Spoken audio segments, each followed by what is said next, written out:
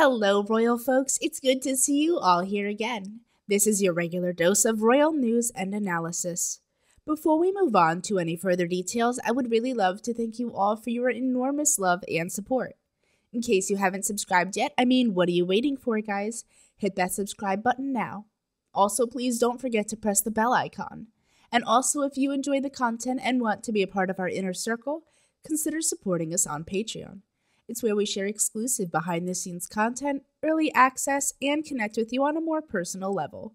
Please check the link in the description. Let's start the video now. In a recent interview with GBN America, political commentator Lauren Chen voiced strong criticism towards Prince Harry and Meghan Markle, accusing them of continuously airing their dirty laundry and igniting negative sentiments among Americans toward the couple. Since their departure from senior royal duties in January 2020, the Duke and Duchess of Sussex relocated from the UK to California, citing safety concerns. However, their move has been accompanied by a barrage of criticisms aimed at the royal family. Chen remarked, In the United States, as in the UK, the whole situation with Meghan and Harry, people see a lot of diversities. But not on the part of the royal family. She highlighted the couple's media and book tours, where they portrayed themselves as victims of mistreatment by the royal family. The commentator expressed dismay at the couple's actions, suggesting that their public revelations of internal family matters have generated significant animosity towards Meghan Markle.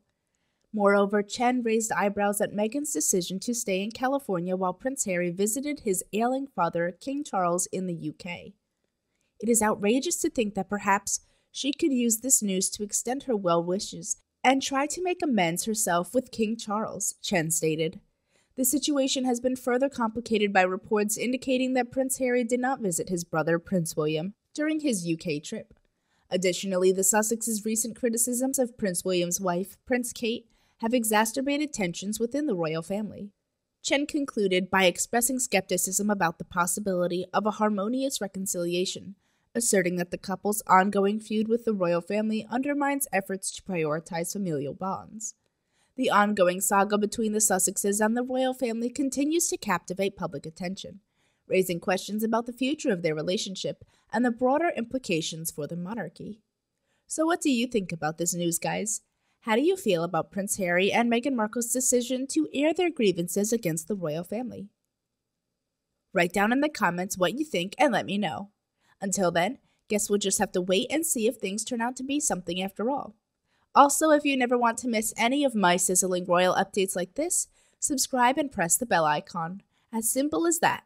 So until the next time, hasta la vista!